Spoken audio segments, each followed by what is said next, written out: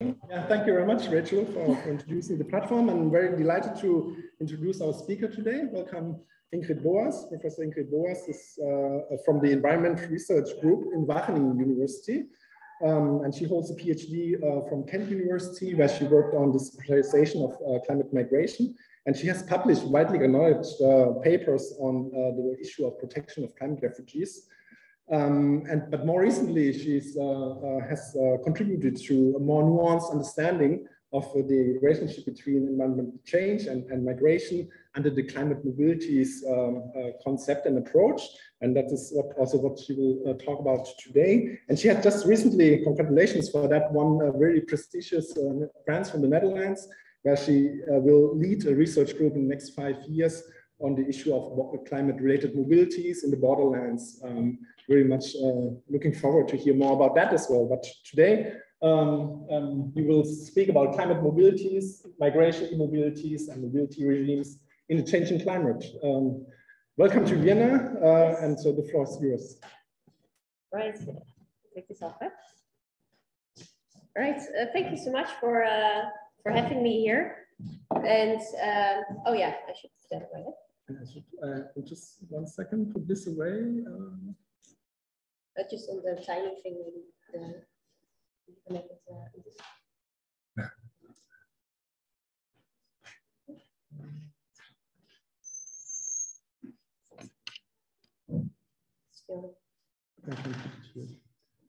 Just one second, and then we are. Oh, it's here. Yeah, so uh, thank you for having me here. Um, I feel uh, yeah very, very welcomed actually in the in the uh, the group of uh, Patrick Sakdapolrak uh, uh, today and yesterday. We had uh, yeah a lot of in-depth conversations and really went in depth about the topic. So it was really enjoyable and also happy also to be able to give this this lecture also in this this location. It's quite special. Um, so what I'm talking about, we'll talk about is about the concept of, of climate mobilities. Um, and this title on climate mobilities, uh, migration, immobilities, mobilities, and mobilities regimes in a changing climate is the title of a, of a special issue that will come out, I think, uh, next week uh, with the Journal of Ethnic and Migration Studies, uh, in which we set out uh, this concept and research agenda on uh, climate mobilities in greater detail. Um, which is together with uh, uh, yeah, a set of different colleagues. Uh, also, Mimi Sheller is involved and Carol Farbotko. Um, so key scholars who are writing on these topics. So it's quite exciting. So, the, so this presentation will also give some deeper context into uh, some of the points we make in that uh, in that uh, issue. let me see if I, so I just go like this, like this. No, just here. Now we can. Oh, this with, with this. Okay. Yeah. So um, the work on, on climate mobilities that started actually um, some years ago um, when we came together it, eh, with a group of uh, scholars who work on these connections between climate change and, uh, and migration. And we all felt somewhat uh, discontent with the way in which uh, this relations uh, was often portrayed and how it was often talked about. Um, um, also, I myself, I started on this topic uh, in, in, in, 2007 or so and coined uh, the term uh, climate refugees. I think also in that paper, I, I cited Norman Myers, which is who, who referred to, to that there would be 200 million environmental refugees by 2050, um, uh, an estimate that had later been critiqued um, for that it yeah was had a quite simple methodology for looking at uh, like how many people are living in that area. There will be sea level rise and that's how many sort of uh, estimations that they are there. So also when I started out myself in this topic, I started out with, okay, yeah, climate change, drought, uh, sea level rise, so there will be mass migration. Yeah, of course, or, or something. I, I guess uh, that's that was was the thinking uh, that a lot of people have uh, when they start in this field, especially if they don't have a background in, for instance, human geography or something. Like, for instance, uh, I myself, when I, I, worked with Frank Biermann on that topic, and we came from uh, the field of environmental sciences, and I think uh, many people in that that field, the yeah, you don't per se know uh, the, large body of literature on human geography and make two quick sort of um, assumptions there. Uh, and then, but that was quite long ago. And then uh, I remember there being quite a lot of discussions, fierce discussions over this concept of climate refugee. Uh, back then, also from, for instance, uh, the UN uh, High Commissioner on Climate Refugee, uh, on Refugees, refugees, the UNHCR, they were quite critical of us coining that concept. While if you look now at, at how they are positioning themselves and sometimes presenting on that issue, I think also the climate is a little bit shifting, that they're also often now making quite bold, yeah, sometimes bolder statements than we in uh, science do, while in the beginning, uh, at that point, they were still very like, no, no, no, this is not a topic and not our mandate and uh, responding in that way. So, uh, but th back then I became interested in, uh, yeah, in how the topic was being framed and thought of in different ways uh, and started also to study the securitization of, uh, of climate migration, so how it was framed in terms of, uh, of security. Um, and, and, that, and that was sort of, and then in around 2010 or so, um, I remember that the debate shifted a bit. There was this, uh, there was a, the Foresight report came out by Richard Black and uh, some others with key migration scholars, and they sort of debunked that mass uh, climate mass migration uh, storyline and um, also argued that yeah a new global treaty on climate refugees would be unfeasible and put forward this uh, driver's model of showing how migration is uh, always multi-causal uh, and also I think then uh, this idea that migration can also be an adaptation strategy um, so, um, so not only an issue of, of fleeing, but could also be a way for people to adapt. I think that narrative came up back uh, uh, at that time. But then uh the Syrian uh, uh, war happened, and there was the a lot of yeah migration talk about migration crisis in the EU. And then I think this narrative on climate refugees and mass climate migration came back quite a lot and it felt that the, the, the debates we had 10 years ago needed to be sort of uh, repeated. Um, and then um, we came together uh, with a large group of scholars. Uh, Patrick was also uh, um, one of them um, and, and wrote an agenda in uh, Nature Climate Change. It's called uh, Climate Migration Myths and put forward an alternative research agenda on, on climate mobilities. Um, and there we try to emphasize that the relations between uh, climate change and uh, human mobility are quite uh, uh diverse, that you see a lot of different types of responses. So not uh, uh, only mass migration flows or only forced displacements, which are sort of dimensions that you that were more often sort of in a more general audience or in the media or policy uh, talked about, but actually um, has a lot of different sort of facets with, um, um, uh, with for instance, uh, rural urban mobilities and also uh, and uh, people uh, trying returning home or nomadic movements and circle mobilities um, and also connections between sometimes moving away for a shorter term and coming back and trying to stay in place uh, and then maybe uh, moving away again. So it, it, was also all not so so linear. Um, and we also tried to make a point that um, that, that climate mobility is not something completely new. Um, that uh, that you can see all types of new migration flows but actually that these uh, intersect with already existing uh, mobility patterns, such as rural urban migration, um, and how then, um, um, yeah, issues of drought or uh, erosion impacting on people's livelihoods, on, for instance, um, on agricultural fields, then, yeah, interplays with uh, already existing coping mechanisms of, for instance, moving uh, to cities and how, and so we try to get more of an embedded perspective as to uh, the role that climate change plays and how it intersects with different uh, immobility and mobility um, uh, patterns. Um, and um, in doing so, we also try to connect with this broader literature on mobilities, which I guess you all know uh, much about because of the many different lectures uh, that, that were there. Um, and with the work from uh, John Urry and uh, uh, Mimi Sheller, um, and also showing in that sense how, how broad this concept of mobilities is and that we should look at these different facets of, of movements, uh, also potential movements or forces of um, um, uh, stages of um, um, immobilization and uh, forms of stillness and dwelling and look at this broader uh, dimension in order to uh, yeah, come to a more nuanced understanding basically of the relationships between climate change and uh, uh, and human mobility.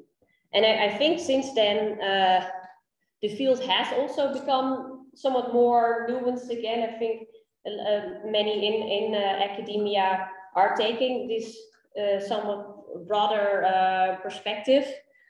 Um, even we just talked about it today that there's a new journal that is being launched that is now called Climate mobility and not climate migration. And I think even in these, uh, there were these World Bank reports on, uh, uh, again, different predictions of how many people uh, will come to have to move. But also more using this language of, of mobility, so it tends to sort of, yeah, um, become accepted somewhat more more broadly, though still I think discussions remain on how how strong this drive of climate change is and and also this this point right on how what uh, do we is, is everything really going to be embedded in these patterns or will we also see real new new patterns and how will they, differ, they differ from the existing patterns uh, that we see. So i think there are still discussions on that and and, and, and open questions there. Um, and, and sort of what this research agenda also tries uh, to do is add to this debate on the, the de-exceptionalization of mobility and, uh, and migration research, which is a goal that uh, Dahinden, I forgot her first name, um, and Joris Schapendonk and others have been arguing for. Um, more and more generally also in, in migration, in the field of migration. Um, um also very much related to the what the, the, the, mobility scholarship has also been arguing for sort of sort of that's often the uh, that's a set yeah um, staying in place uh, being settled that that is sort of the norm and having to move away that that is sort of out of the ordinary and and what uh, and Schapendonk also make the point is that sometimes we as scholarship also tend to um, reaffirm these, these norms and these dichotomies um, also by uh, uh, yeah, uh, wanting to focus more on these exceptional types of, of cases. Um, so that's also something that we've been trying to engage with with this uh, research agenda and also to, to see climate mobilities more in relations, as I just mentioned uh, also in the previous slide, to these uh, existing mobility patterns and yeah, and how it evolves, uh, takes place and develops in the context of everyday life. Um, and um, this I just want to say, I guess for maybe for you, it's more, more obvious that um, the, shift from uh, talking about climate refugees or climate migration towards climate mobilities doesn't mean to suggest that it's uh, that it's not so that people are, are not in a very vulnerable situation or that they're uh, in just situations. That's a, a comment I, uh, I sometimes get, especially if I have to uh, present to a yeah, more general audience. It's a bit like, yeah, but what is mobility? It seems sort of so vague and not important and not uh, like not raising the same type of idea of importance as, as climate refugees. And uh, do we then not avoid, uh, yeah, the risk that that not uh, enough policy will be directed towards uh, towards this issue, and that uh, we should fight for justice and the sort of that's sometimes sort of the, the concern with uh, the concept of mobilities. Um, though I think, of course, if you, for instance, look at Mimi Sheller's work with mobility justice, there clearly is also very much a justice element, and and uh, and not um, all mobilities uh, are equal. Uh, some have more uh, capacities to move than others, and I think also how Mimi Sheller's work, for instance, shows in the, the that there are these elite mobilities of, uh, for instance, me, who has now come to, to Vienna and others, uh, very marginalized communities, not able to move and not maybe being able to make a lot of choices as to their movement. And also injustices can appear in uh, very gradual forms of uh, climate mobility. Um, when a sea level rise is very gradually impacting people's houses and it doesn't come up as maybe a crisis situation, uh, but it's, it's, it is impactful and also about issues of, of, of, justice. But I understand this concern maybe, yeah, from a more policy or political perspective that it's a concept that is somewhat, mm, yeah, more difficult to communicate, um, basically. Um, yeah, with this picture, um, um, I want I wanted to yeah connect to this uh, idea of um, I just get this away. What is the exceptionalization of, of mobility and migration? Uh, right, and on one hand, you have these, uh, which I will later go, come into, go to in the presentation, uh, these actors, these regime actors that do try to, yeah, create an exceptionalist, uh, exceptionalist life type of movement and situation with border controls and emphasizing that it's not permitted to move. And, uh, and, and, and, this is actually in uh, in between Bangladesh and India um, in the in the Sundarban area, and where they also look into uh, yeah zones where you're not allowed to fish or zones where you can cross and where you cannot cross the border. Though it used to be before um, uh, the colonial uh, and the colonial rule, it used to be in a connected uh, connected area. But at the same time, you see how in sort of everyday practice people cross the border and uh, and how they also contest this idea that there's the border and just try to cope with that in their everyday um, everyday lives. Uh, but I'll, I'll, I'll get to that tension basically uh, uh in more detail later.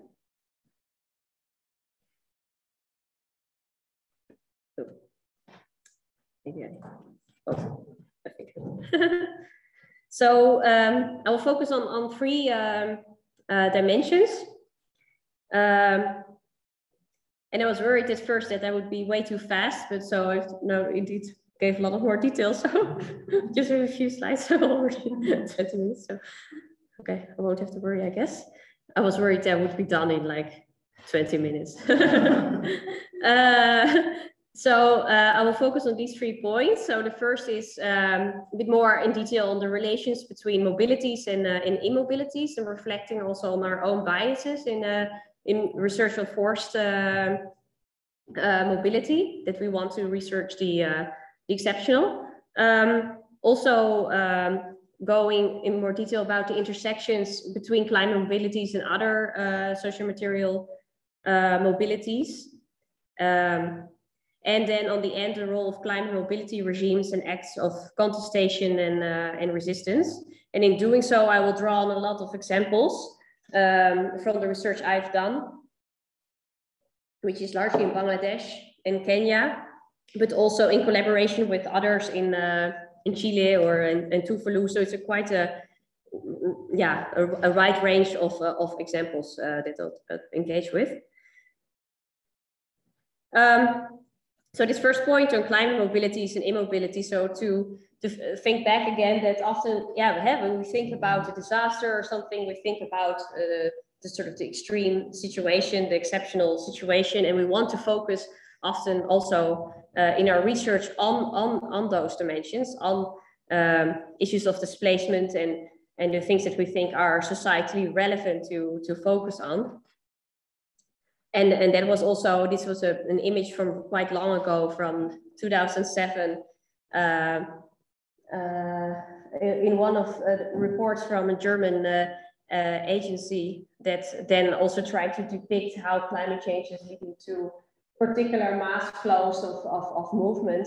and detention seem to indeed often also when also when the issues being visualized, uh, being focused on, on, on that direction, adding to a particular understanding of the, of the subject. Um, but what we heard last for at least for a very, quite a long time in, in the field was issues of, of immobility and people not moving away. Um, so this is a picture of uh, an island in Bangladesh in, in Kutubdia, where uh, here the, uh, you see the hole uh, at the sea. There used to be an embankment and now about eight years ago or something that was uh, destroyed when there was a cyclone.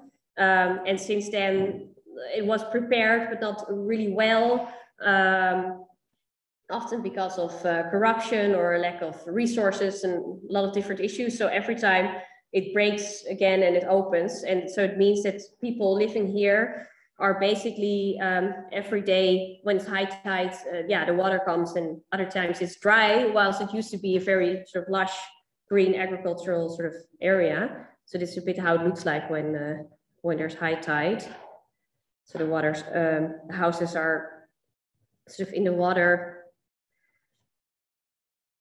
Um, and they made this, they called it cock sheet uh, to, to be able to, to get to the roads if the children had to go to school or um, hmm, things like that. Um, but in the beginning, when this issue of, of immobility came up in the field, um, that was, I think, also around the time of this Foresight report, uh, in, uh, so around 2010.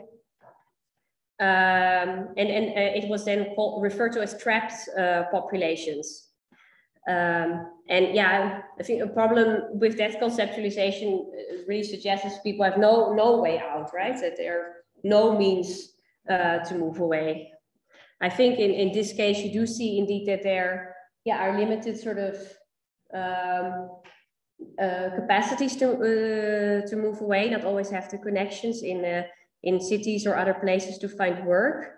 And also hope that uh, at some point this, this uh, um, the hole in the embankment will be fixed so that people can stay.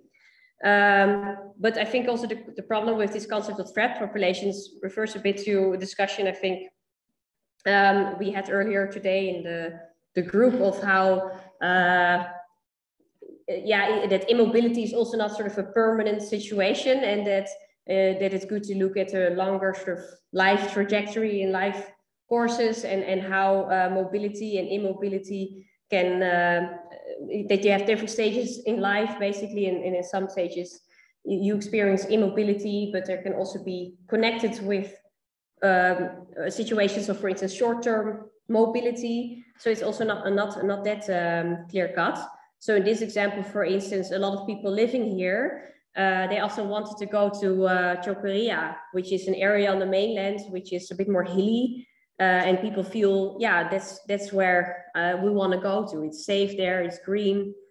Um, so this is how it looks like. Uh, and people also know um, uh, people there who have already moved away and for instance live in temporary houses um, as you see uh, here this is temporary house attached to uh, someone else's house um, and for instance i met a family where the mother always um, well, not always, but often uh, her children um, to go to this area, um, for instance, after a cyclone and when the water is still quite high, that they think, okay, it's better safer if you go there for a longer period of time. Um, so in that sense, but she stays then uh, um, also with her husband to take care of the belongings and the stuff uh, there. They also have a cow. Um, and they also don't uh, want to move there, uh, like really relocate there, because they're afraid that uh, there are not enough jobs for her husband. At least now here in Kutubdia, he can do, he has a job in fishery and, you know, at least they have an income. Uh, so you see here how sort of this, yeah, this form of immobility is, is very much intersected still with um, very frequent uh, trips of uh, short-term movement to higher places uh, where the children go for safety and they're trying to sort of manage their, their life by this mix of staying uh, uh, connected with, uh, with short-term short-term movement. And I, I, think it's also difficult to see in such case if it's really like yeah, involuntary mobility or, or not. I think it's quite difficult to yeah to put a label uh, uh, on it. Uh, which in the end uh, for policymakers is often yeah quite useful to to do so that they know how to help uh, the people in, as to what they want to do. Um, yeah, to to reflect a bit more on this uh, this bias that we sometimes have towards wanting to research this these cases of exceptional movement. Um, is, is also again based on research I did myself in, in Bangladesh, in uh, the south of uh, Bangladesh. It's in, um, Patrick knows this, uh, this story, but uh, um, it's, it's, in a quite dynamic uh, uh, area of the Delta. Um, and here, these green areas of land is a satellite-based image of, of the area, showing land changes over the last 30 years. 30 years. And um, the green areas are new emerging pieces of land. Uh, and uh, the blue is sort of what has been lost. Uh, and it's not because of climate change, but because of natural dynamics um, in the delta. But what is uh, related to climate change is that uh, the area is often hit by cyclones, and that is um, also yeah, um, especially in areas where there's also already a lot of erosion going on, it has usually quite a, a big impact. Um, so uh, others had, had done a big data study um, in this area. Uh, uh, Lu Wrathall and others in the climatic change, their study was published. Um, and it's, it's a big data analysis of anonymized mobile phone um, um uh, records. Um, and they traced, for instance, if you um, yeah, move uh, between uh, mobile phone towers when you call, they can trace uh, your, your movement. And this, this data reflects um, yeah, the, the, these called detail records and um, then uh, during Cyclone Mahasen, which hit this area in May uh, 2013. And these red flows show um, exceptional, uh, yeah, um, out of the ordinary movements, let's put it that way. Um, because um, normally it was in the middle of the night, so normally there's not a lot of movement. So these red flows show sort of unusual movements, and blue are less uh, uh, flows than normal.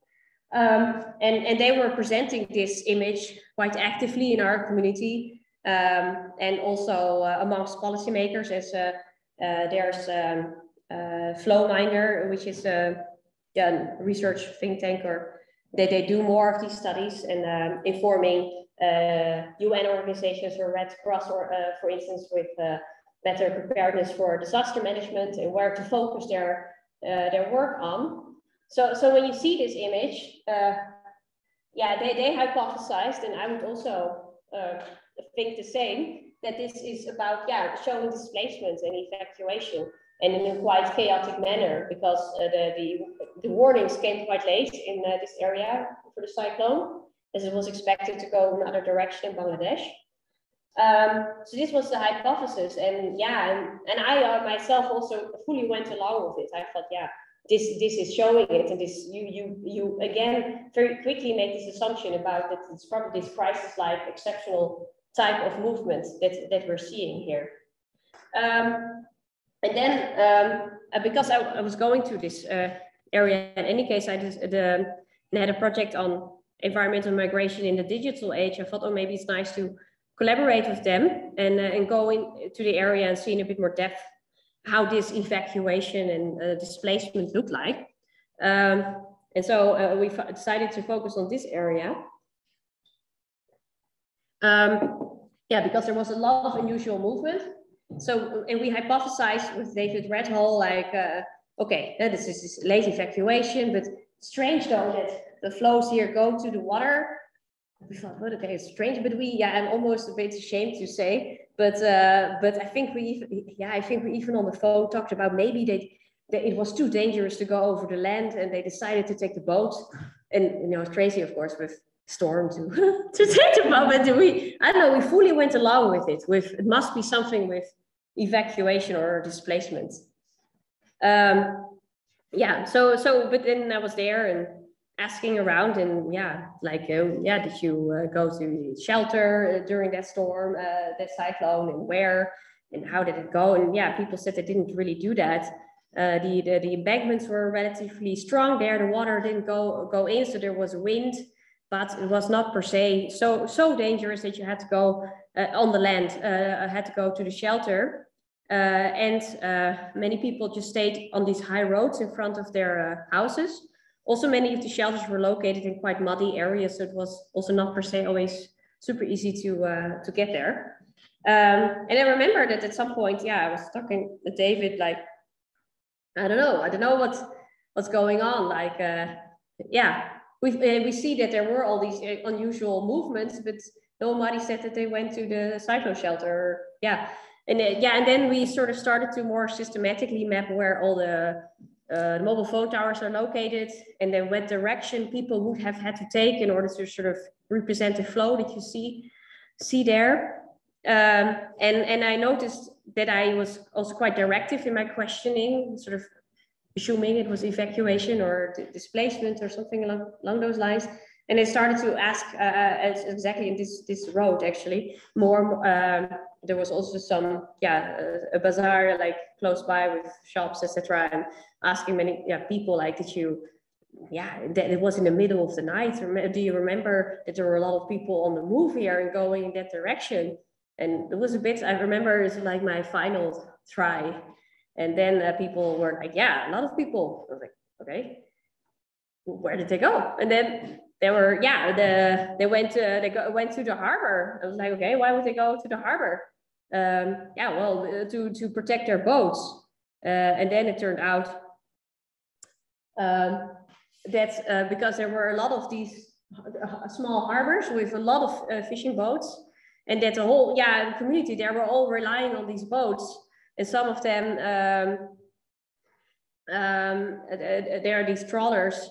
Uh, they were really big and uh, they invested a lot of money in them. Um, uh, so uh, yeah it was very important for them that these these boats wouldn't drift away or then wouldn't break so some people said like for instance you can work with 20 people or something in a boat and they were all asked by the owner to uh, yeah to, to, stay in the boat the whole night. And uh, they were calling uh, others like hey your boat is being damaged you have to come you, or you have to come and help and um, and uh, and there was also a lot of interaction with those who give the loans who are more in the, uh, the, the where the bazaar uh, is located. Um, and, and sometimes they also went home in turns home in turns to see how the situation was because it was usually the men so that's also the movement that you see are the men moving largely. Uh, the women have less phones and were more sort of stayed with the house or sometimes even in the, uh, the psych, uh, cyclone shelters. Um, so, and, and it appeared that this strategy was not out of the ordinary or something, but they do this every time there's a, a storm or a cyclone and it's feasible to move around, they do it uh, in order to protect their boats. It's sort of a common livelihood strategy. So it was actually less sort of this situation of sort of exceptional type of movement, but quite sort of a well coordinated strategy they had to in order to protect um, their boats. And um, yeah, something we hadn't expected at all. It didn't enter in our minds at all when you just see this picture and you don't know the local context. And this is sort of shared everywhere. Uh, and yeah. Um, um, and, and, and, this is happening st uh, still uh, also with because they keep on making these type of data flows. And uh, I remember also sending it to Flowminder, but I don't know, I didn't have the feeling they found it very, uh, very interesting. But uh, yeah, for me, it, it, really shows that uh, how quickly we, we can make the wrong assumptions and it can lead to a total uh, sort of mismatch also with uh, if you would come and try to to uh, come and help people there they need quite different support uh, than you think. Um, and also, um, it turned out that this area where you don't see a lot of unusual movement is that, that there actually most of the vulnerability was. There it was most dangerous. Um, and that was because uh, there the embankments, because of the erosions that had taken place, were very weak. Um, so this is a large hole in the embankment, and uh, yeah, because embankments have been created in uh, in Bangladesh, there's no very smooth sort of uh, flow of uh, in the delta anymore. So the sand uh, of the of the I don't know, I'm, I'm not very good in explaining this, but uh, of the river cannot sort of go into the land. So what happens is that it sort of sinks here. So if the water then goes in, you know, it's, it's really dangerous. There's a lot of water. yeah. So people here, there was sort of this case more of immobility of people not being able to move out and go and save their boats or anything else. They were trying to save their lives, trying to climb uh, rooftops, trees. Uh, and there was also a cyclone shelter here, but not, uh, yeah, and it is not very far. So around the same mobile uh, phone tower. And that wasn't picked up basically. That is some missed in, in, in, in that uh, big data analysis, which then has some bias as well towards looking into to mobility and thinking that that is what we should focus on in uh, when, the, when there's a cyclone. Um, yeah, so here this is a satellite-based image of that area showing how, how uh, about three kilometers of land had been lost over the last 30 years. Uh, and sometimes you see more holes.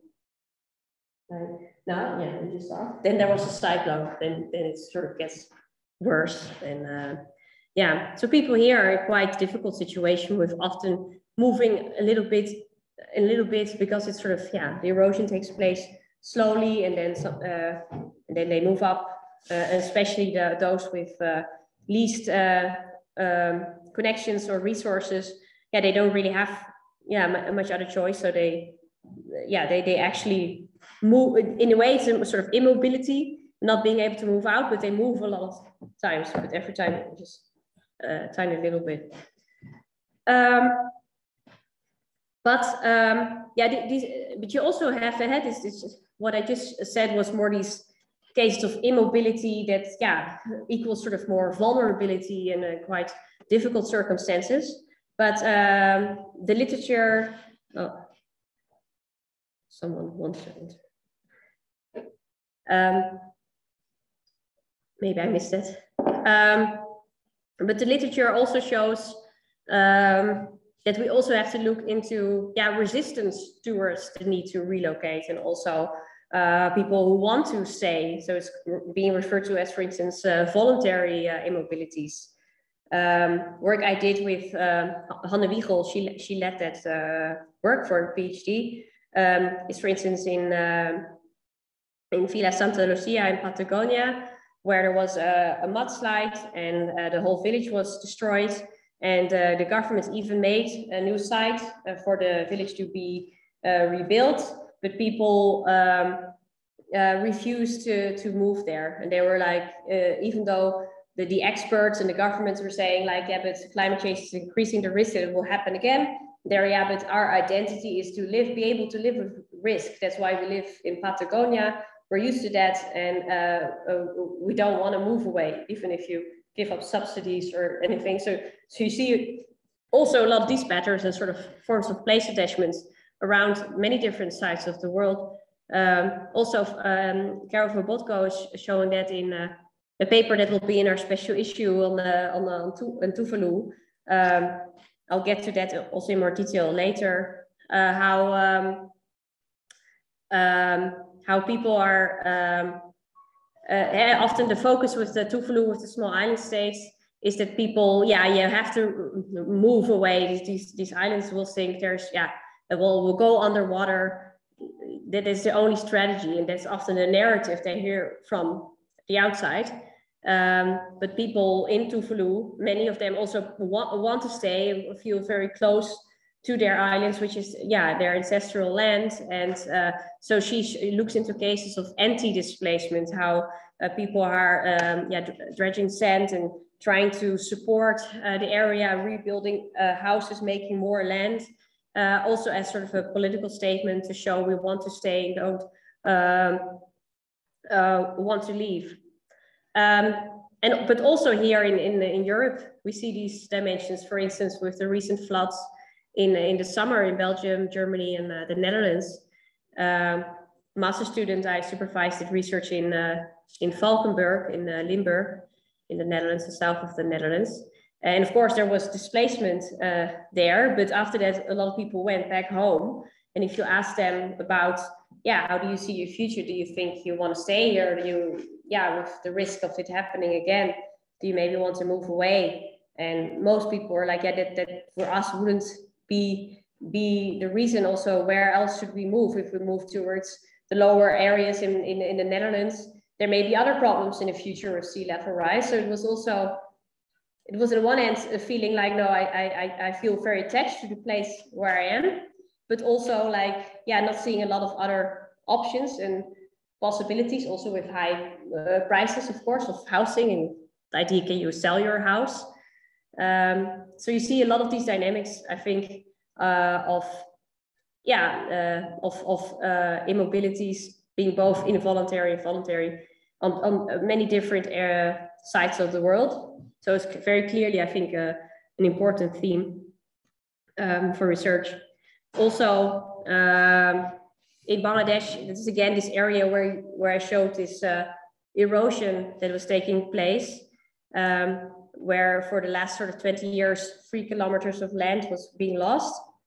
Uh, there now, finally, sort of after 20 years, a bit further ahead, the embankment was being rebuilt. And that was because someone from the area was finally in the parliament and therefore funding was enabled and, and sort of hope returned to the area.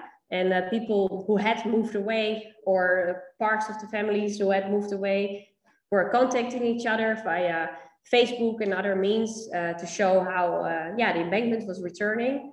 And people were also returning back home um, so it was in this area.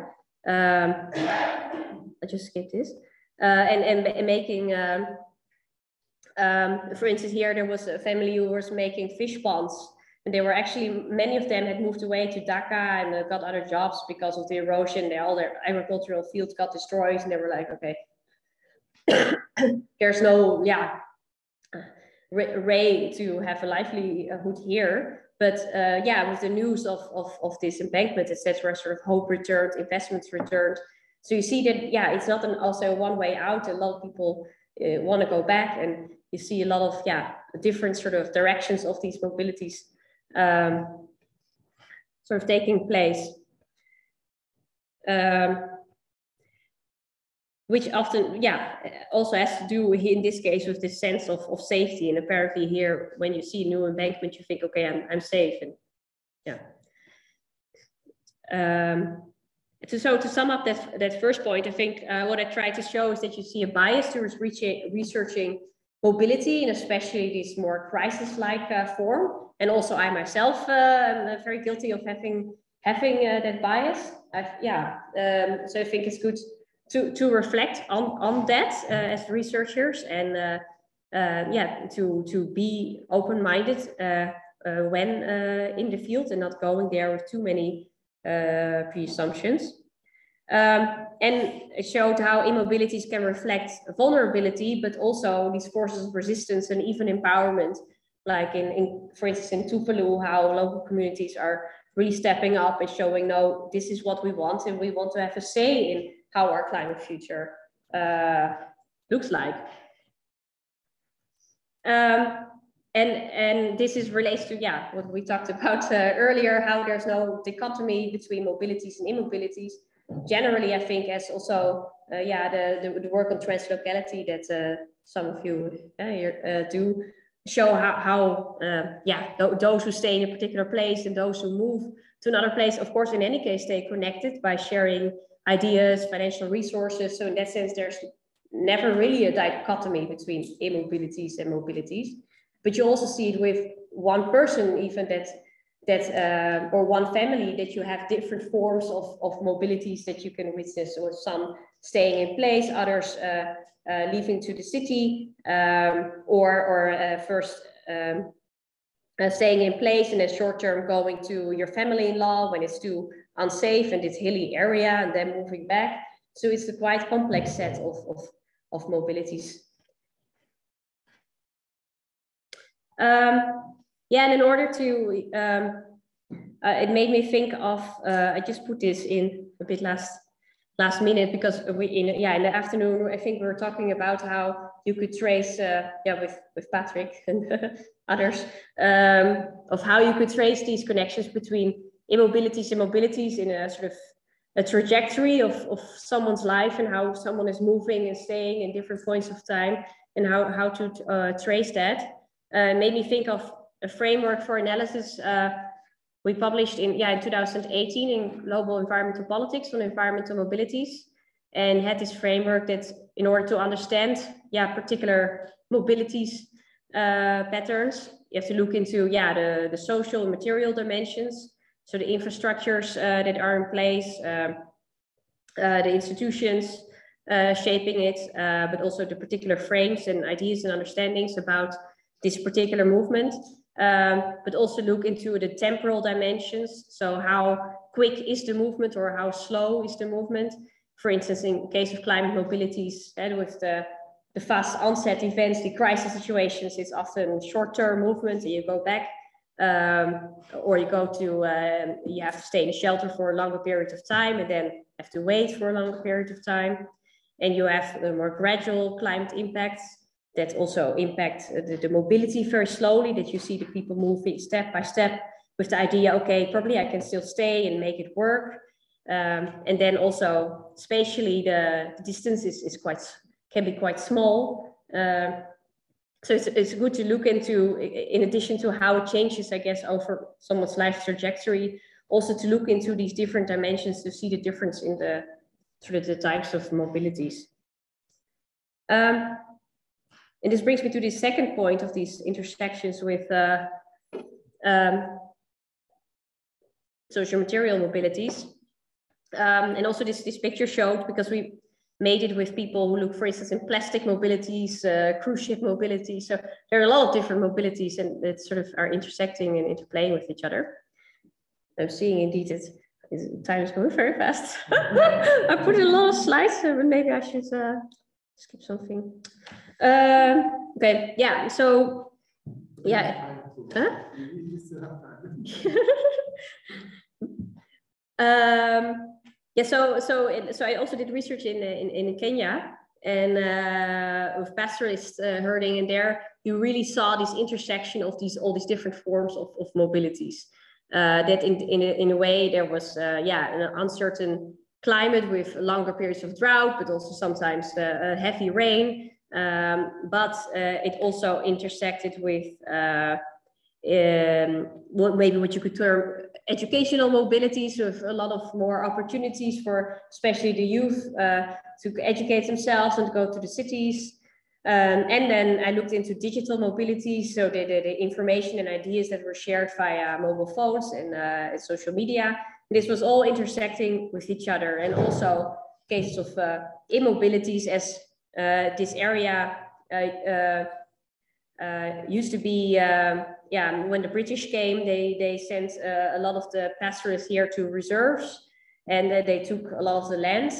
Um, when the British left, yeah, some of these pastoralists could, could return, but they the landowner still kept the land and it's really large pieces of, of land it's gigantic and so and the pastoralists are sort of locked in within these very large areas of land, which now sometimes are sort of wildlife reserves.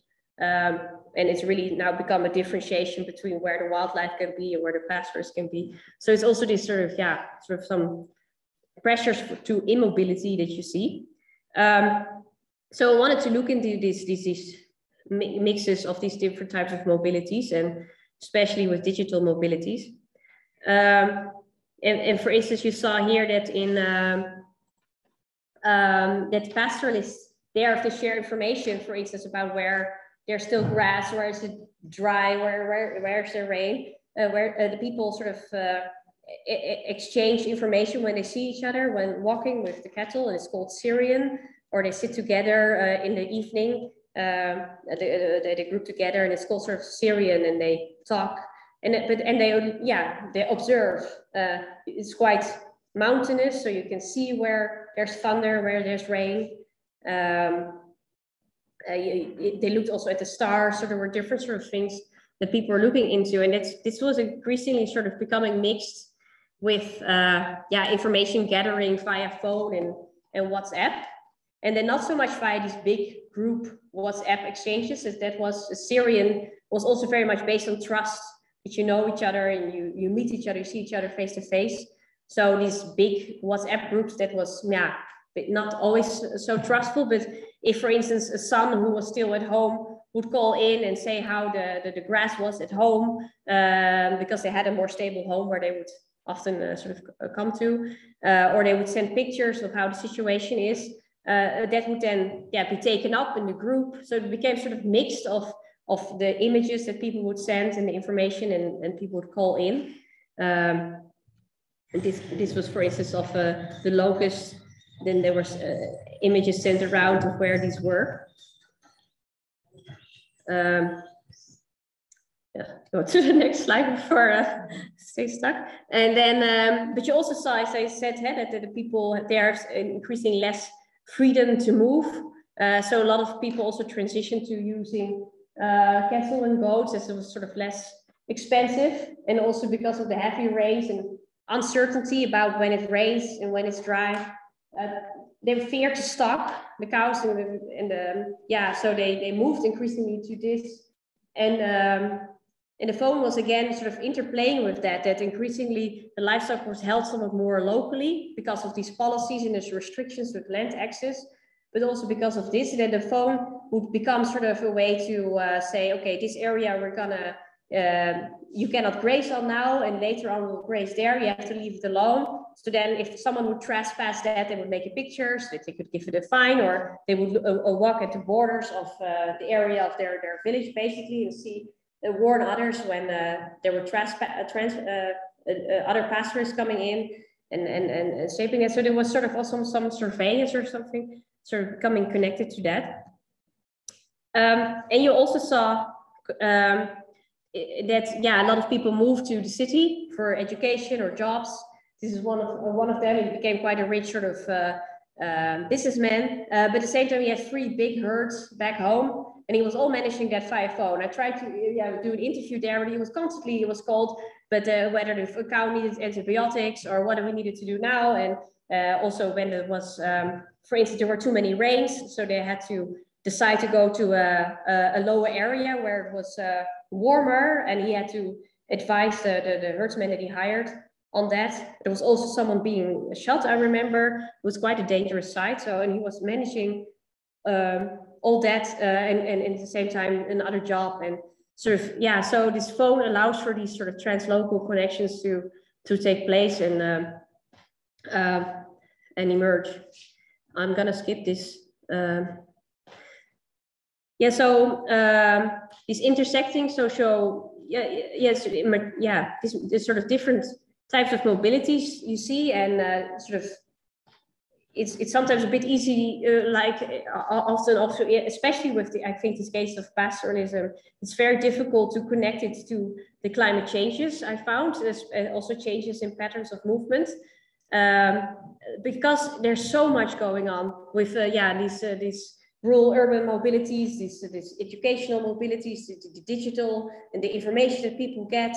It is very, very difficult, I found there to, uh, to really see what is the impact of, of, of climate change there. And it's really uh, set, look like more of this hybrid and intersecting set um, of, of, of mobilities. Um, and these digital technologies in this case yeah, pluralized basically how the pastoralists navigated the restrictions they had um, in moving and also how they coped with environmental changes in that they had their own observations and interactions, but also used these images and pictures they got from others in other places. Um, and in that way, um, yeah, you could see that pastoralists sort of do maintain their pastoralist identity, though there are these forces to settle and being restricted in movements because also because of the phone they can go to a lot of different places and stay connected and um, um, and have their sort of mobile identity sort of re remains in, in, in, in that context. Um, and then sort of the final uh, topic on climate mobility regimes. Mm yeah, I think um, a lot of time in our, our, field, we often look more into sort of, yeah, local dynamics of, uh, of how people move and uh, etc. Or, or people designed, looked into big uh, global treaties on how to protect climate refugees. but I think there's been somewhat less attention to uh, what I refer to here uh, as climate uh, mobility regimes, um, sort of how different types of actors frame, manage, and regulate this nexus between climate change and, and mobility, and trying to govern it and steer it in a particular direction. And in the broader field of migration, there's a lot of, a lot of literature on migration regimes and mobility regimes, but it has been somewhat less applied in, in this field. And um, we thought in the special issue, at least that it would be interesting to focus more on that. And then not only the, the migration regimes, basically, but also how climate adaptation policies and programs are also shaping uh, uh, mobilities in a, in a particular way. Um, I'm gonna skip this for time. Um, yeah, for time, I think I'm just gonna go directly to the examples. Um, so an example of that is, is for instance, with the, the Marshall Islands. Uh, it's in an article from Bordner and uh, others who show how these, this impact of, of climate mobility regimes on, on the perceptions of, of local movement, how especially external donors and, and Western media frame the small island states as sort of lost to climate change. Uh, and uh, waiting for sort of inevitable, uh, like unavoidable uh, relocation, uh, and how uh, local communities, but also local governments, actually want to try also adapt in place and want to have funding and support for that, but are not receiving it because of this dominant narrative. No, you are the future climate refugees. Um, and and Bordner and others, they are uh, critiquing that as sort of yeah, new sort of neo uh, as neo uh, colonial dynamics um, that uh, deprive the islands of, uh, of their state, state sovereignty over their own adaptation strategies. Um, and that we need to return sovereignty over adaptation and decision making to affected states, but also to the communities themselves as to how they, they want to participate in, in framing uh, and, and seeing how they should um, see their yeah climate futures. And that this is not determined by some global network of uh, of uh, donors etc uh, as, as to how they should uh, survive. Um, another example of that is in uh, in Bangladesh is from Kasia Paprocki's work who showed how um, this is a picture of um, of Khulna in the, the west of southwest of Bangladesh where there used to be a lot of agricultural fields uh, and rice uh, uh, cultivation, but it has been transformed into a shrimp agriculture project. I hear, I hear someone on the background, but maybe mute. Um, shrimp agricultural uh, project, and that was already the trend started in the 80s uh, that the World Bank promoted that because it would lead to more export, uh, export for Bangladesh and economic growth. But uh, in recent years, the World Bank, uh, but also Dutch engineers and others who had an yeah, interest in that, have been increasingly linking that to climate change. Uh, there were, yeah, um, uh, even sort of sort of board games in trying to envision the future of this area of Bangladesh. And it was sort of suggested like, yeah, well, this area will be lost to sea level rise in any case. So let's already transform it now so that we can economically profit from it. Um, and sort of this, again, this impact of this, these global uh, climate mobility regimes, but here also very much connected with local NGOs like WWF and uh, national governments who went along with this. And people became displaced as a consequence of this because, yeah, uh, there was not a lot of less jobs available in this market and it's generally less nice to, to live. So a lot of people moved to cities and that was then sort of framed as an, uh, an adaptation strategy, as something also the, the government should promote because, yeah, the area is unlivable in any case. And she, Paprocki critiques this as that these, these, these regimes um, or governance that they are, yeah, got, uh, with their anticipatory politics are creating already a situation of anticipatory ruination, like ruined area now already uh, because it will be lost uh, in any case. And that uh, and alternative futures are ruled out of those discussions. Those um, the, the, the people living in these areas were not heard and not giving a voice into how they would envision the areas and, and, and their future lives. Um,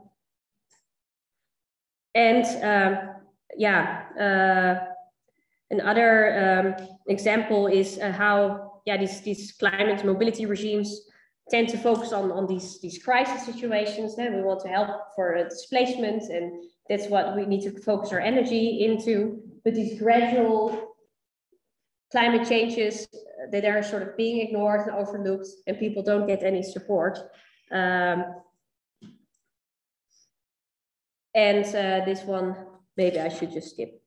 Um, and uh, to, um, and I think it's important maybe to to end with that is to, um, can I have like five minutes? Yeah. okay. Uh, is, is that we should also look into acts of resistance and contestation of these climate mobility regimes, that they're not only sort of, yeah, dominating and saying how everybody should uh, um, um, move or not move and which movement is noticed and which is not. Um, so there's also scholarship looking into that. Uh, so how to navigate the climate mobility regimes that comes from uh, uh, work and um, and Fiek. Um, uh, how, how and they, they, look more generally into, into migration flows and uh, how, how people uh, yeah try to improvise and try to create room for maneuver in in a situation of control. Uh, but you also see more direct forms of resistance and contestation. Um, and and that um, you can see, for instance, uh, this was in Bangladesh, in Kutubdia, that first island where I talked about, where, where, with this embankment that was gone. There you see, for instance, forces of resistance of the, local communities start to really start a, a protest with also Facebook uh, was quite active on it, demanding uh, that uh, the military would come and fix their uh, the embankment and really try to get it to the national parliament so that finally something was being done. And last time I was there, it was being fixed more properly. So maybe they also uh, succeeded in doing that. Um, and these are the people from Tuvalu who uh, um, they're called the Pacific Climate Warriors, and um, this is sort of their how they, uh, went back to their indigenous roots and uh, using canoes and etc. Uh, uh, to try and block, for instance, uh, industry, coal industry, and boats um, that are used in, in the context of that industry, and really trying to show, hey, we exist, we want to stay, and you have to listen to us. And so there are a lot of these acts of, of resistance, uh, and but also more yeah subtle forms like in the pastoralists. I think they don't have a lot of room for maneuver, but they sort of seem to accept more the situation of of land access, but they do try to yeah when it's dark enter the areas uh, where they're not supposed to, and especially when it's dry, then there's conflict and then the resistance becomes much more visible. But in, when when they when the situation is somewhat okay, they try to navigate it in a somewhat more smooth uh, way. Um, and this, I think, I'm going to just skip because of time. So, um, yeah, to sum up with the climate mobility regimes, they frame and govern relations between climate change and immobility in a particular direction. Um, and it's good to also look into these forms of counterpower um, regard um, against these, these, climate mobility uh, regimes.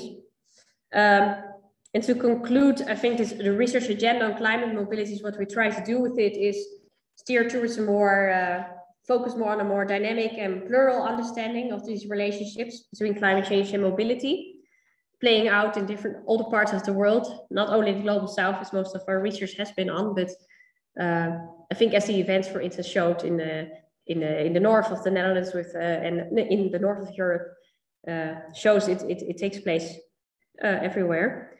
Um, and mobility and immobility are interrelated concepts. Um, and we should study them as such and not in a too static manner.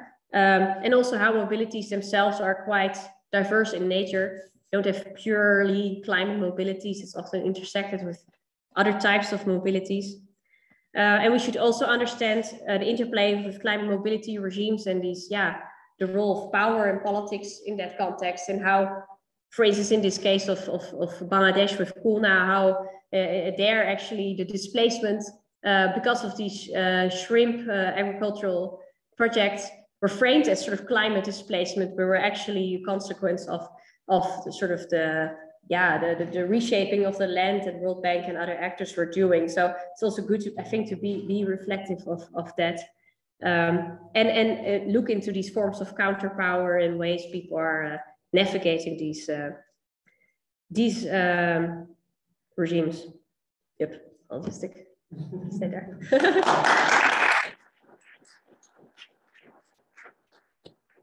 Thank you very much.